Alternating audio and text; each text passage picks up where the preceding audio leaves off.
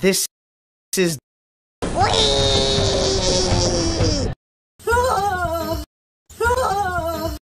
Okay then. Let's do pitches time.